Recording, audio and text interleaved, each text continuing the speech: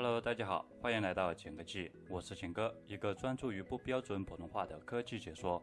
昨天有朋友和我说，微信分享任何东西都不可以，这是怎么回事？其实这是微信的一个 bug，不过这个 bug 在半个小时之后就修复了，所以大家不用担心。另外还有朋友问我，以前我分享的恢复微信聊天记录的代码无效了，其实这个功能微信就自带的，我先为大家演示一遍。首先我们在微信删除和一位好友的聊天，我们在微信的设置，帮助与反馈，进入之后我们点击上面的这个扳手图标。选择第一个故障修复，大家可以看到这里有许多功能。第一个就是聊天记录，但是有一点大家要知道，它这里也有提示，我们在使用微信时发生异常，如聊天混乱、通讯录丢失等问题，那么在列表中选择相应的功能尝试修复。所以这个是在微信出现异常后才能修复。我也尝试了一下，有时候删除的聊天记录可以恢复，但有时候删除后是不能修复的，所以这个也不是完全有效。如果大家微信有重要的资料，